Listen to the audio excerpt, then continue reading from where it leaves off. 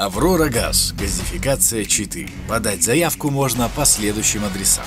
По вопросам, связанным с подачей документов, читинцы могут проконсультироваться и по телефону горячей линии 8 924 021 29 16.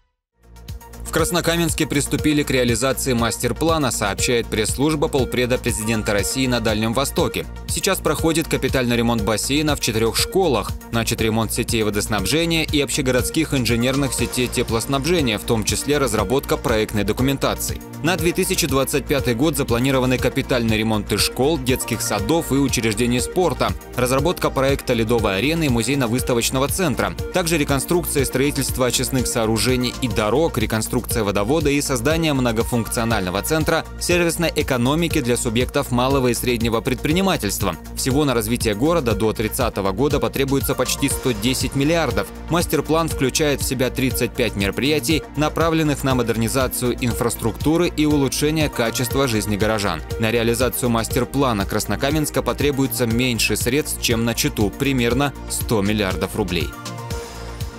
Сити-менеджер Читы Щеглова предупредила владельцев нестационарных объектов о соблюдении установленного внешнего облика.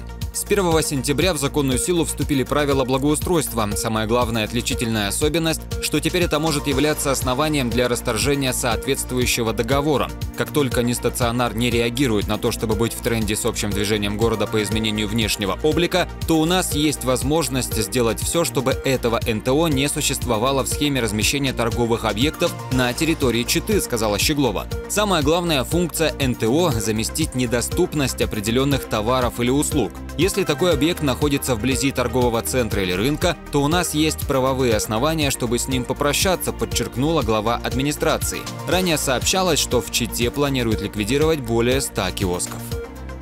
4 миллиона рублей были выделены для Федерации плавания Забайкалья на 2024 год, сообщил корреспонденту Забру президент Федерации Александр Старицын. В 23-м контрольно-счетная палата выявила провал программы плавания для всех в Забайкалье. Она была сформирована без предварительной оценки развития отрасли в регионе и имеет низкое качество формирования, нет финансирования. Прокуратура вносила представление об устранении нарушений министру спорта Забайкалья Андрею Середкину. Мероприятие в крае не реализовывается. Цель по созданию условий доступности занятий плаванием для различных групп населения не достигнута. Также в Забайкальском крае не хватает бассейнов для плавания, а существующая инфраструктура не соответствует требованиям населения. К таким выводам пришли специалисты из Краевой контрольно-счетной палаты.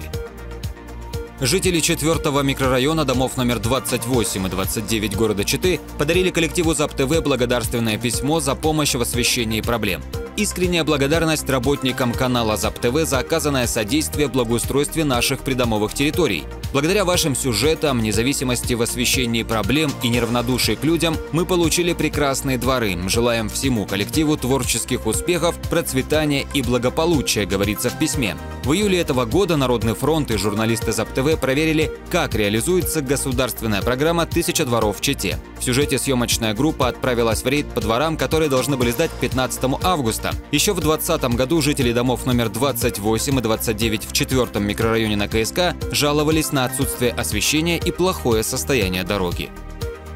Замминистра гражданского общества Забайкалья Александр Волчек ушел в отставку. Он проработал чуть больше года. Информацию подтвердили в пресс-службе правительства края. Замминистра его назначили 26 июня 2023 года. Он отвечал за молодежную политику в крае. По данным источников СМИ, Волчика уволили, предложив написать заявление по собственному желанию. С 2019 года мужчина был координатором региональной команды «Молодежка Народного фронта». Также ранее он был специалистом по учебно-методической работе на кафедре востоковедения ЗАБГУ, курировал направление по работе с подростками и молодежью в центре «Искра».